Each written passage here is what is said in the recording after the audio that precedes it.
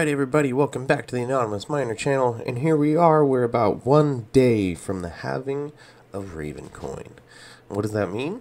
That means that the block reward, every time that we finish a block, it pays out 5,000 Raven, and in one day, 37 minutes and 55 seconds as of recording this video, it's going to go to 2,500 Raven per block, meaning that instantly, as soon as that occurs in one day, the profits are going to be cut in half, technically unless the coin instantly doubles in price or the network hash rate instantly drops to half of what it currently is.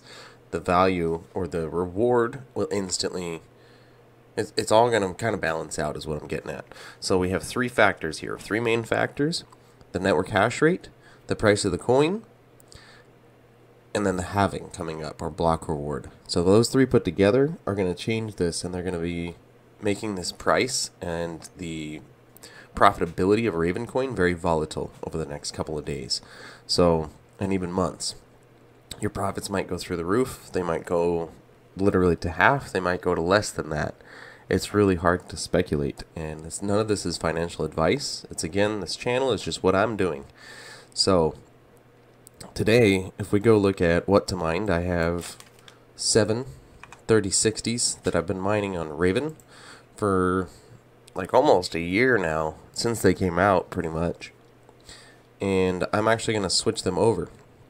So here we are on what to mine and if I scroll down um, this is super zero right? And it's been at the top for a while. And if I actually change this a little bit let's go to the current profitability and recalculate.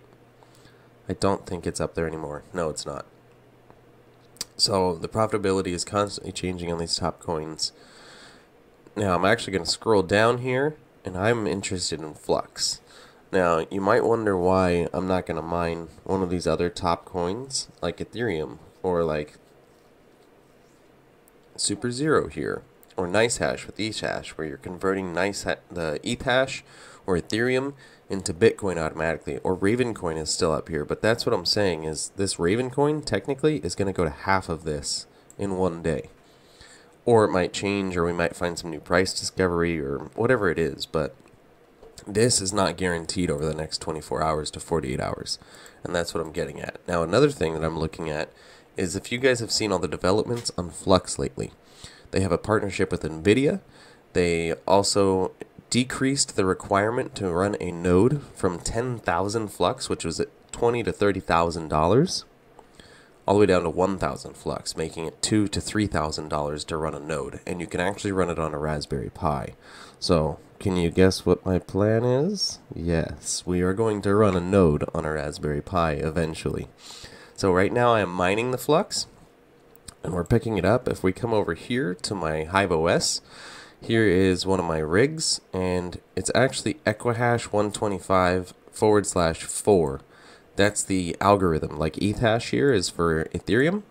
Equihash 125 forward slash 4 is the algorithm that we're mining for Flux.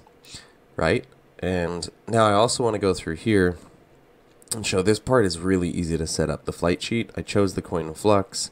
Um, the wallet I'm using is Zelcore. The pool that I'm using is Hero Miners and the actual mining software that I'm using is Gminer. Now, in Gminer, I did create a couple extra arguments that I'm only using my 3060s, but that stuff's pretty simple. That's all pretty straightforward. Now, if I open up Hero Miners and we take a look at my flux mining, right now it shows us at 166.53 K sols, which is thousands of solutions a second. K stands for thousands, so SOL stands for solutions, and the forward slash S means per second. So we are doing about 170,000 solutions per second right now. My average is about 250. That's what it normally would be. And the profit right now, last 24 hours, I've made $11. The last week, I've made $52. And now this is where it gets kind of interesting. This parallel assets balance. This won't be paid out until later.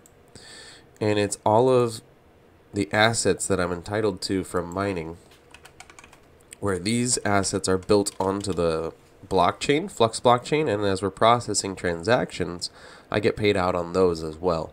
So it won't get paid out for a while, but if we look over my last week, I'm owed 20 or I got paid 20 Flux and they still owe me 6.1. So that's pretty good. That means that I made what like 70 bucks last week and it's still not over technically because I haven't been mining. Oh no, it is actually. As of today, I've been mining for 1 week cuz look at this. The total paid is 21 and last week paid 20.